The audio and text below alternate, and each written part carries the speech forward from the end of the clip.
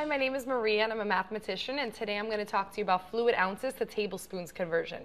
So the ratio between fluid ounces and tablespoons is 1 to 2.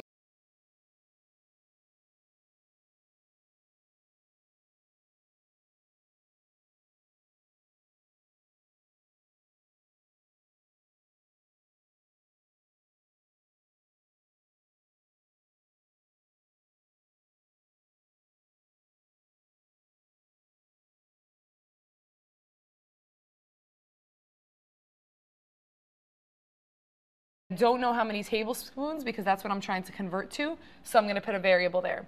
Now I have a proportion that I'm going to solve by cross multiplying.